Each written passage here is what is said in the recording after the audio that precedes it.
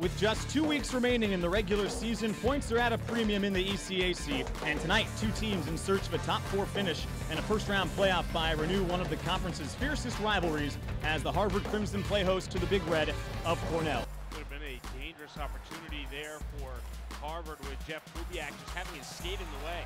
Here come the Big Red. This is Spiegel backhanding one towards Michalek. He shovels it into the corner. The rebound try got through. Michalek then comes out of his crease. Out to the point it comes, and it's broken up by Jake Horton. One of the Harvard captains, Max Everson, skates in, backhands one. He circles with Ryan. Instead, banks it down low for Freschi. It's broken up onto the stick of Knisley, and then there's Kerfoot taking it away. Kerfoot has a breakaway. He walks in. Kerfoot shoots, and it's saved by Gillam. A deflection, and he throws his glove at it and makes the second stop. Unbelievable save by Gillam on the second try. Weidman across for Ryan. Here's Bardreau surveying, lays it back across for Ryan. He walks the line. One-time drive by Bardreau, and he scores.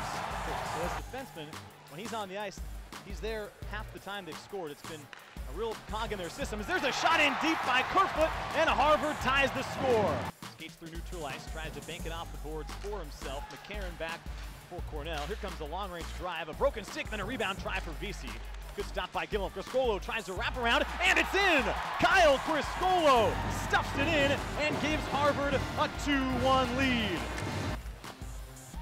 After by John Knisley. Knisley centers one, backhanded try, just goes wide. And here's a shot from Newell. He's going to bank it off the boards onto the stick of Moy. Malone has a chance, but he was just getting back to his feet.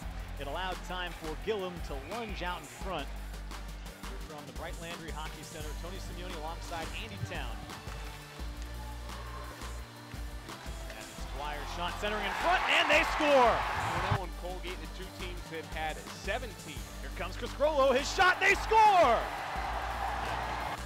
Back come the Crimson, or the Big Red the other way. Tietinen, sharp angle shot, rebound try, they score! Puck comes down into the Cornell zone. Ryan tries to get it out, and he does. It skips out to neutral ice. Jaw after it, had it knocked off to a stick by Hilbrich. Centering feed, Bardreau on the backhand, he shot it wide. They go up against McDonald. Criscuolo circles, trying to backhand one in.